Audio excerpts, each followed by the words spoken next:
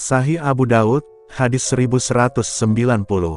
Dari Abdullah bin Amru bin Al-Esh, dia berkata, Rasulullah Shallallahu alaihi wasallam bersabda, Barang siapa bangun salat malam dan membaca 10 ayat, maka dia tidak akan dicatat sebagai orang-orang yang lalai. Barang siapa bangun salat malam dengan membaca 100 ayat, maka dia akan dicatat sebagai orang-orang yang tunduk dan patuh dan barang siapa bangun salat malam dengan membaca seribu ayat, maka dia akan dicatat sebagai orang-orang yang dermawan.